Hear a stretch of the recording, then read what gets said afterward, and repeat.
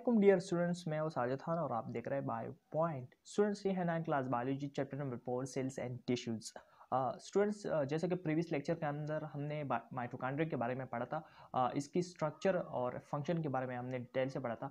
आज के लेक्चर में हम एक और ऑर्गेनेली के बारे में पढ़ने जा रहे हैं uh, जिसको हम प्लास्टिड कहते हैं। सो so, आज के लेक्चर में हम uh, इसके बारे में पढ़ेंगे इसकी कुछ स्ट्रक्चर इसकी टाइप्स और इसकी जितने भी टाइप्स है इसके फ़ंक्शन के बारे में आप के लेक्चर में हम डिटेल से पढ़ने जा रहे हैं। सो स्टूडेंट्स वक्त ज़ाय के बगैर लेक्चर शुरू कर देते हैं। अच्छा स्टूडेंट्स तो आपने इर्द गिर्द कवर किया होगा कि आप के इर्द गिर्द जितने भी जो पौधे हैं, इसके मुख्तलिफ़ किस्म के कलर्स होते हैं, कुछ जो, कुछ वो फूल होते हैं, कुछ के रेड कलर होते हैं, कुछ की ब्लू होती है, कुछ की येलो होती है। तो बेसिक इसके जो डिफरेंट कलर होते हैं, ये किस वजह से होती है? ये क्या होते हैं, ये सेल के अंदर एक आर्गेनेली होती है, जिसको हम प्लासिड कहते हैं, और इस प्लासिड के अंदर डिफरेंट पिगमेंट्स मौजूद होते हैं।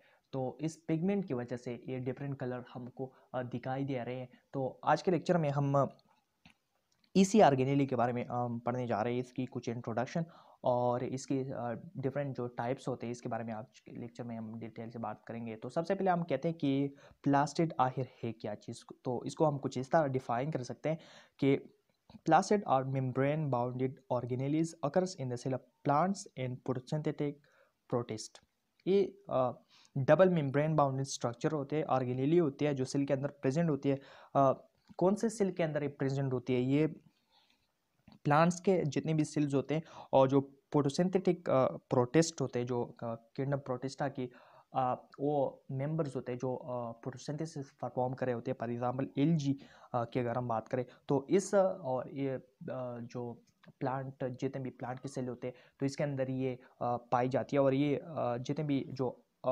हेट्रोट्रापिक ऑर्गेनिज्म है जितने भी जो ऑर्गेनिज्म है, जो अपने लिए खुराक तैयार नहीं कर सकते तो इसके सेल में ये एबसेंट होती हैं। अच्छा जी। अब हम बात करते हैं कि इसको सबसे पहले किसने डिस्कवर किया था तो सबसे पहले इसने एक बायोलॉजिस्ट थे जिसका नाम था अंस्ट हिकल एक बायोलॉजिस्ट थे सबसे पहले इसने ये प्लास्टिक को सबसे पहले इसने डिस्कवर किया था। अब हम आते हैं इसकी कुछ टाइप्स की तरफ़। तो बेसिकली ये इसके हमारे साथ होते हैं थ्री टाइप्स हमारे साथ होते हैं। सबसे पहले को हम क्या कहते हैं? सबसे पहले हमको को हम कहते हैं क्लोरोप्लास्ट सेकंड नंबर पर हमारे साथ आता है क्रोमोप्लास्ट एंड थर्ड नंबर पर हमारे साथ आता है ल्यूकोप्लास्ट तो चले स्टूडेंट्स आहिस्ता आहिस्ता हम इसको एक्सप्लेन करने जा रहे हैं। सबसे पहले हमारे साथ आता है क्लोरोप्लास्ट तो क्लोरोप्लास्ट का मतलब यहाँ पे क्या हो गया? यहाँ पे क्लोरो का मतलब जो हो गया तो बेसिकली ये किसकी तरफ़ इशारा है? ये बेसिकली क्लोरोपिल की तरफ़ इशारा है। क्लोरोपिल को प्रीवियस क्लासेस के अंदर शायद आपने पढ़ा होगा कि क्लोरोपिल जो है प्रोस्टेंथिस को परफॉर्म करने में बहुत हेल्प करती है और ये ग्रीन पिगमेंट पर मुश्तमिल होती है। अच्छा जी। और प्लास्ट का मतलब यहाँ पे क्या हो गया? प्लास्ट ये प्लास्टिक की तरफ़ इशारा है। तो इसका मतलब क्या हो गया कि ये प्लास्टिक हमारे साथ क्या होते हैं? ये ग्रीन होते हैं। अच्छा जी। This is the type of plastic which contain green pigments इसके अंदर क्या होते हैं? ये इसके अंदर ग्रीन पिगमेंट्स होते हैं। अब हम कहते हैं कि हम पिगमेंट किसे कहते हैं? पिगमेंट हम किसे कहते हैं? जी स्टूडेंट्स अच्छा जी तो पिगमेंट हम ऐसे सब्सटेंस को कहते हैं जो एक चीज़ को कलर देती है। किस वजह से कलर देती है? एक सेलेक्टिव एक कलर देती है। फॉर एग्जांपल हमारे साथ ग्रीन पिगमेंट है तो इसकी ग्रीन कलर होगी।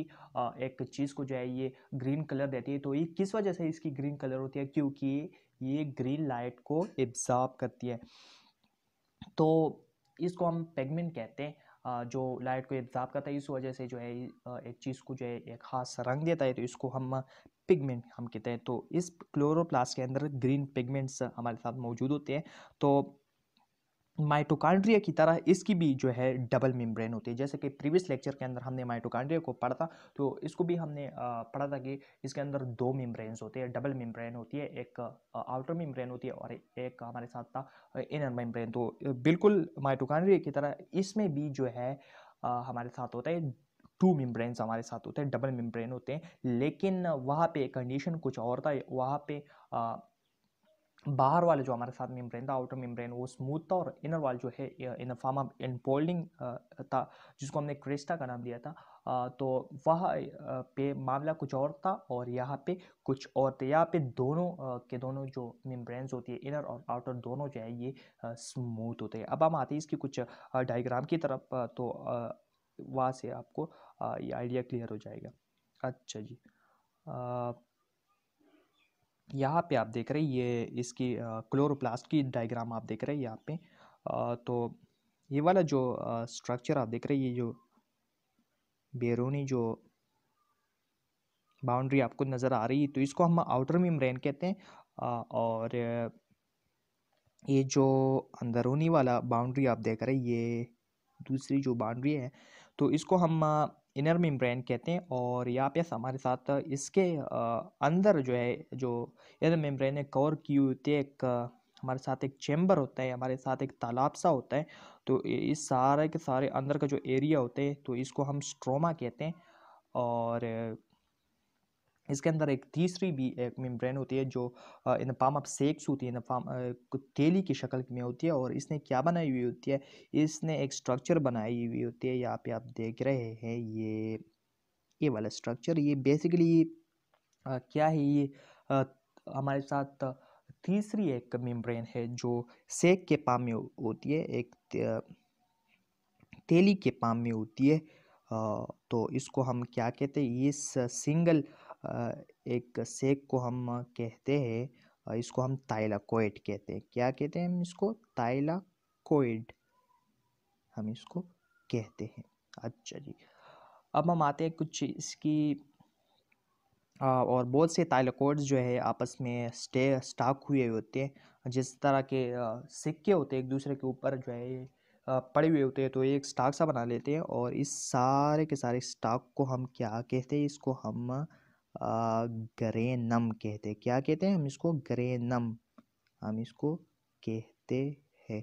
G R A N U M इसको हम ग्रेनम का नाम देते हैं। अच्छा हम आते हैं इसकी कुछ एक्सप्लेनेशन की तरफ़। अच्छा जी।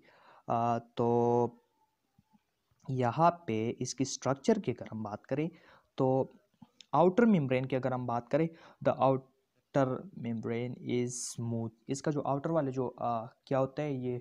जो मेम्ब्रेन होता है, ये स्मूथ होता है और इसके बाद आते हैं ये Lennon membrane give rise to sacs called thylakoids inner wall जो मेम्ब्रेन होता है जिसके मैंने आपको बताया कि ये भी स्मूथ होता है, लेकिन ये छोटे छोटे तेलों की शक्ल में जो है ये क्या होते हैं मुंतकिल होते हैं। तो इसको हम क्या कहते हैं, इसको हम थाइलाकोइड्स हम कहते हैं, एक सिक्के की तरह एक शक्ल होता है, इसका एक तेली की तरह एक शक्ल होता है, सेक की तरह। अच्छा नेक्स्ट आते हैं हम ग्रेनम की तरफ़।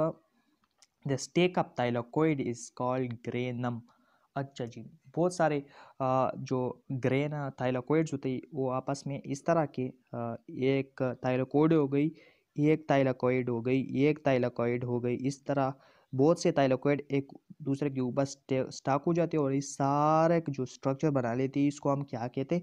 इसको हम ग्रेनम हम इसको कहते हैं। अच्छा जी हम आते हैं इसकी स्ट्रोमा की तरफ़। तो grana float in the inner fluid of chloroplast ये जो ग्रेना होती है ये आ, अंदर एक फ्लूड होती है क्लोरोप्लास्ट की तो इसके अंदर ये फ्लोट हो रहे होते हैं और इस सारे के फ्लूड का तालाब जो होता है इसको हम स्ट्रोमा कहते हैं। अच्छा जी। स्ट्रोमा के अंदर क्या होता है? तो इस स्ट्रोमा के अंदर डार्क रिएक्शन होता है। डार्क uh, रिएक्शन को हम uh, आने वाले चैप्टर uh, के अंदर हम इसको डिटेल से पढ़ेंगे। फोटोसिंथेसिस की एक टाइप है डार्क रिएक्शन तो इसको हम वहाँ पे डिटेल से पढ़ेंगे। अच्छा जी। अब हम आते हैं फ़ंक्शन की क्लोरोप्लास्ट की क्या फ़ंक्शन होती है? तो chloroplast are site of photosynthesis in eukaryote जितने भी यूकरियाटिक सेल होते हैं, जो कि इसके अंदर क्लोरोपिल होते हैं और क्लोरोपिल का काम क्या होता है? फोटोसिंथेसिस में मदद करना। तो इस क्लोरोपिल की मौजूदगी की वजह से ये फोटोसिंथेसिस के लिए एक साइड प्रोवाइड करता है। अच्छा जी, ये तो इसकी हो गई एक फ़ंक्शन दूसरा इसका फ़ंक्शन क्या होता है? दे कंटेन क्लोरोपिल इसके अंदर क्लोरोपिल होता है, एक ग्रीन पिगमेंट होती है, जो फोटोसिंथेसिस के लिए बहुत ज़रूरी होता है। और इस तरह इससे जो एसोसिएटेड बहुत से पिगमेंट्स होते हैं यहाँ पे मौजूद होते हैं। This pigment are present in thylakoids of grana है ये जो पिगमेंट होता है जो क्लोरोपिल होता है, ये कहाँ पे प्रेजेंट होता है? ये ये एक थाइलोकोइड हो गई तो इसके इसमें ये प्रेजेंट होती है। इसकी वजह से ये थाइलोकोइड हमें ग्रीन नज़र आते हैं, इस क्लोरोपिल की वजह से। नेक्स्ट हम आते हैं एक और टाइप की क्लो प्लास्टिक की एक और टाइप जिसको हम क्रोमोप्लास्ट हम इसको कहते हैं। क्रोमा का मतलब यहाँ पे हो गया आ, कलर क्रोमा का मतलब हो गया कलर एंड प्लास्ट का मतलब क्या हो गया? प्लास्टेड प्लास्टेड इसका मतलब क्या हो गया? इसका मतलब हो गया प्लास्टेड अच्छा जी। तो the second type of plastid in plant cell are chromoplast ये एक सेकंड टाइप है प्लास्टिड की इसके अंदर क्या होते हैं, इसके अंदर कौन कौन से ऐसे पिगमेंट मौजूद होते हैं they contain pigment associated with bright colours and are present in the cells of flowers petal and fruits इसके अंदर मुख्तलिफ़ किस्म के पिगमेंट मौजूद होते हैं। फॉर एग्ज़ाम्पल येलो हो गई येलो पिगमेंट इसके अंदर मौजूद होते हैं। और इसी तरह जो है इसके अंदर रेड पिगमेंट मौजूद होते हैं, इसी तरह इसके अंदर ब्लू पिगमेंट मौजूद है, इस तरह पिंक मतलब किस्म के जो कलर होती है तो ये वहाँ पे मौजूद होती है। कहाँ पे मौजूद होती है? ये ज़्यादातर प्लांट के किन हिस्सों में मुश्तमिल मौजूद होती है। तो ये जितने भी जो गुलाब जो फूल के जो पत्ते होते हैं, पेटल्स होते हैं तो वहाँ पे ही मौजूद होती है और फ्रूट्स में ये मौजूद होती है। इसका काम क्या होते हैं? अब मैं आपको बताता हूँ कि इसका क्या काम होता है। तो इसका काम होता है their function is to give colours to this parts and this help in pollination and dispersal of fruit जी इसका काम क्या होता है? इसका काम ये होता है कि पोलिनेशन में हेल्प करती है। फॉर एग्ज़ाम्पल पोलिनेशन हम किसे कहते हैं? प्रीवियस क्लास में शायद आपने पढ़ा होगा। पोलिनेशन हम एक ऐसे बायोलॉजिकल प्रोसेस को कहते हैं, जिसमें एंतर से जो है पोलिन ग्रेन्स जाते हैं और स्टिग्मा पर फीमेल की जो पार्ट होती है फ्लावर की तो वहाँ पे मुंतकिल हो जाते हैं। तो ये प्रोसेस को हम पोलिनेशन कहते हैं। फॉर एग्जांपल मैं यहाँ पे ड्रा कर रहा हूँ। ये फॉर एग्जांपल ये एक ये एक मेल प्लांट हो गई परस करें और इसके अंदर ऐसे मेल पार्ट्स होते हैं, इसको हम एंथर कहते हैं। इसके अंदर पोलिन ग्रेन्स प्रोड्यूस होते हैं, फॉर एग्ज़ाम्पल एक और फ्लावर है, ये फीमेल है यहाँ पे ये मेल हो गई और यहाँ पे ये हो गई female.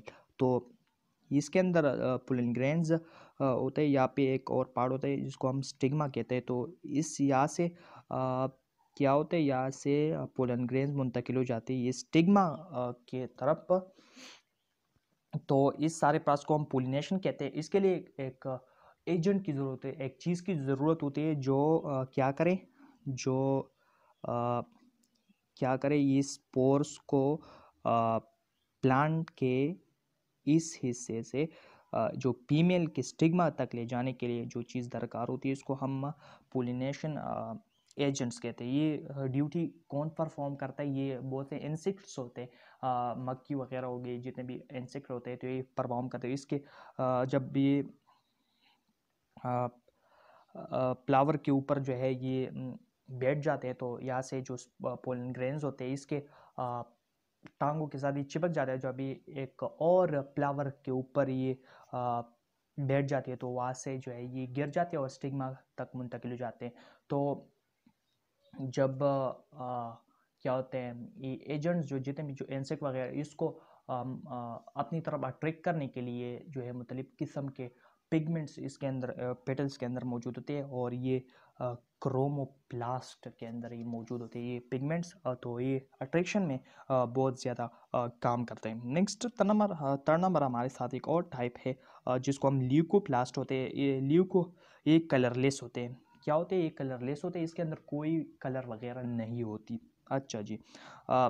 They are colourless and store starch protein lipids इसका बेसिक काम क्या होता है? इसका बेसिक काम होता है स्टोरेज ये बहुत सी चीज़ों को स्टोर कर देते हैं। फॉर एग्जांपल स्टार्च हो गई प्रोटीन्स हो गई और लिपिड्स वगैरह। अच्छा इसका लोकेशन क्या होता है? ये कहाँ पे प्लांट के अंदर प्रेजेंट होती है? तो they are present in the cell of those part which where food store जहाँ पे फ़ूड स्टोर होता है फॉर एग्ज़ाम्पल ये ऐसे पार्ट्स में होते हैं जो बेरंग होते हैं। फॉर एग्ज़ाम्पल रूट्स वगैरह के अंदर ये प्रेजेंट होते है। तो ये तो था हमारा आज का लेक्चर जिसमें हमने प्लास्टर इसके टाइप के बारे में डिटेल से पढ़ा। सो स्टूडेंट्स ये तो था आज का हमारा लेक्चर अगर आपको ये लेक्चर अच्छी लगी हो तो इस वीडियो को लाइक करें। हमारे चैनल को भी सब्सक्राइब ज़रूर कीजिए और बेल आइकन पर ज़रूर क्लिक कीजिए ताकि हर हमारी नई आने वाली वीडियो आप तक बर वक्त पहुँचती रहे।